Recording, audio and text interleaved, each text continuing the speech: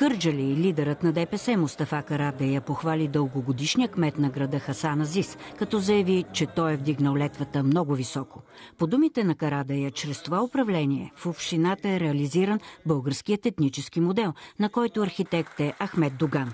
Карадея е категоричен, че ще бъде развит и моделът на приемствеността, като още на тези избори за кмет ще бъде избран кандидатът на ДПС Ерол Мимюн.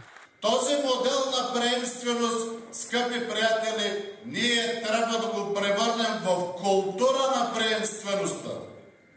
Вътре в партията. Много се говори за толерантността и заедността. Кърджале е столица на толерантността. Заявили сме го, обявили сме го и на практика сме го показали и доказали. Ерол Мюмюн има нужда от подкрепата на всеки един от нас, продължи Мустафа Карадая. Първо по време на кампанията, след това на изборите и в последствие в управлението на общината. Купуването и продаването на гласове е престъпление.